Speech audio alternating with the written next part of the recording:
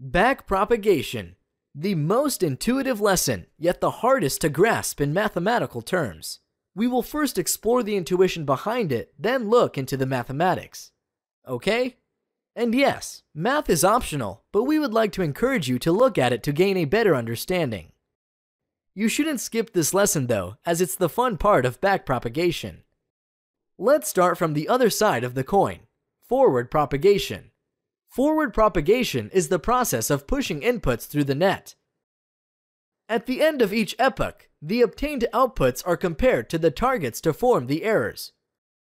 Then, we backpropagate through partial derivatives and change each parameter so errors at the next epoch are minimized. For the minimal example, the backpropagation consisted of a single step, aligning the weights given the errors we obtained. Here's where it gets a little tricky.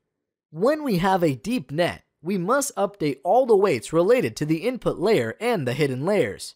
For example, in this famous picture, we have 270 weights. And yes, this means we had to manually draw all 270 arrows you see here. So, updating all 270 weights is a big deal. But wait, we also introduced activation functions. This means we have to update the weights accordingly, considering the used nonlinearities and their derivatives. Finally, to update the weights, we must compare the outputs to the targets. This is done for each layer, but we have no targets for the hidden units. We don't know the errors. So how do we update the weights? That's what backpropagation is all about. We must derive the appropriate updates as if we had targets. Now, the way academics solve this issue is through errors. The main point is that we can trace the contribution of each unit, hidden or not, to the error of the output. Okay, in the next lesson, we will provide an illustration of the backpropagation concept. Our net is quite simple. It has a single hidden layer. Each node is labeled, so we have inputs x1 and x2. Hidden layer units, output layer units y1 and y2, and finally, the targets T1 and T2.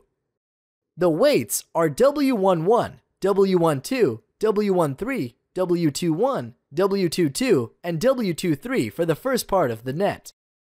For the second part, we named them U11, U12, U21, U22, U31, and U32 so we can differentiate between the two types of weights. That's very important. We know the error associated with y1 and y2, as it depends on known targets. So let's call the two errors E1 and E2. Based on them, we can adjust the weights labeled with U. Each U contributes to a single error.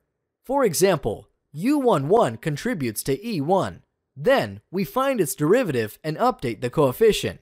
Nothing new here. Now, let's examine W11.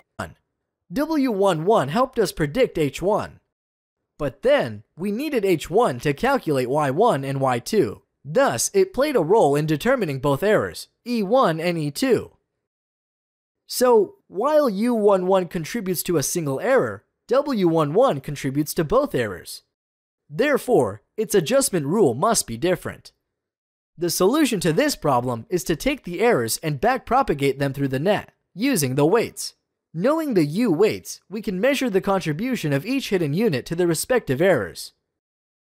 Then, once we've found out the contribution of each hidden unit to the respective errors, we can update the W weights. So essentially, through backpropagation, the algorithm identifies which weights lead to which errors.